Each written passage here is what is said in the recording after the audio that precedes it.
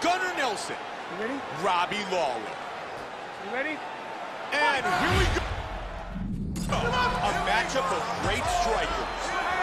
White trunks for Lawler. Black trunks for Nelson. Strong jab by Nelson. Big shots. Oh. Wow, swing and a miss.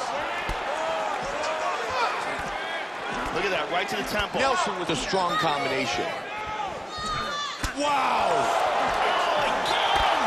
Wow! Big punch.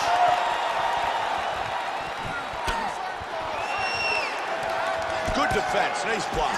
Beautiful left hand. Powerful left hand. Oh, he's hit.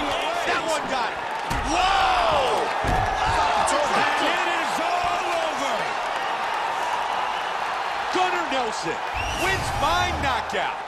Let's check out the action on our fight replay. And here we see it right on the money for the knockout. We can see it from a different angle here. Look at the power in this roundhouse kick. And when it lands, the fight is done. Take a look at this from a different angle.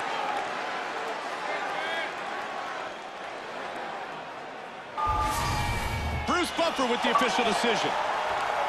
Ladies and gentlemen, referee Yves Lavigne has called a stop to this contest at 1 minute, 10 seconds of the very first round.